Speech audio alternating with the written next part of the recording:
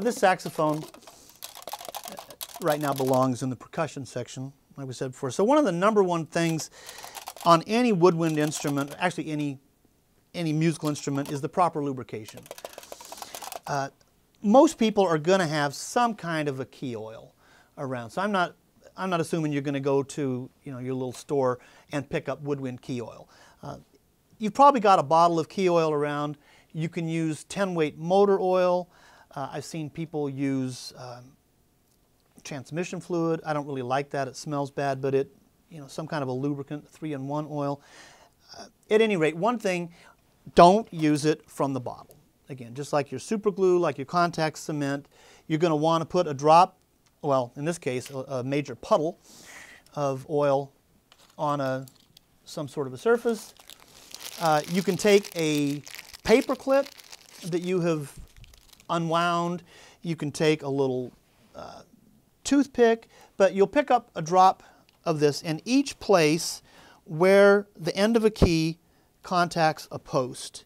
You'll just touch the tip of this on there and it will it'll pull off you'll you'll see it there it'll leave a little drop of oil and then you'll do one or two more and then you look back there and it will have drawn that oil into the into the keys already at least in this little segment uh, where I've gone down just that little bit of lubricant at least it feels significantly better it sounds a bit better I really like to have four, at least four different thicknesses of oil when I work.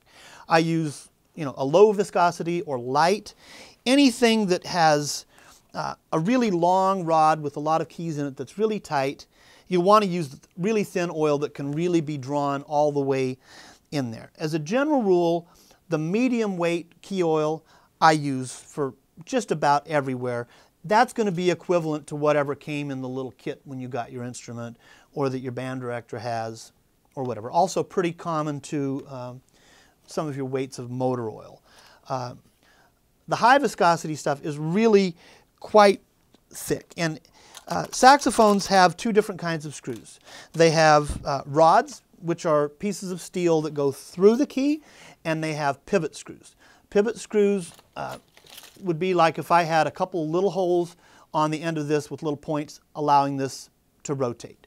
Those spots are subject to a lot of wear and tension. They need a lot heavier uh, oil. Just like on your car, your engine oil, your transmission fluid is pretty thick. I mean, it's pretty thin, but the wheels have that really heavy grease. And the same thing applies to musical instruments. Those areas that need uh, significant uh, lubrication because of the wear will want to go with a heavier oil. So this stuff here, uh, and you know, as you examine the instrument, if it's a really, really long key and you can see that it's only got a post on either end, it's a pivot screw.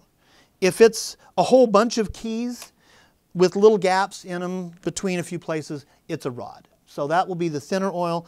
The long ones on the end, you'll use the thick oil. Another area on saxophones is a linkage. Uh, often they have uh, a split key, just kind of like a fork with a pin. They operate this way. Uh, if the material that's in them is missing or loose, or even if it isn't, it tends to be very noisy. That's a spot you're going to need to use that heavier lubrication. Uh, this is a slide oil. Typically, you'll be seeing it for trumpets or something for their slides, but uh, a little, ooh, eh, this is a trombone slide oil way, way too thick. Uh, so, and I've got some other stuff here that's very much like a gel. I would put that in there and it'll take care of this kind of noisiness. Uh, but again, use the right lubrication for the right spot.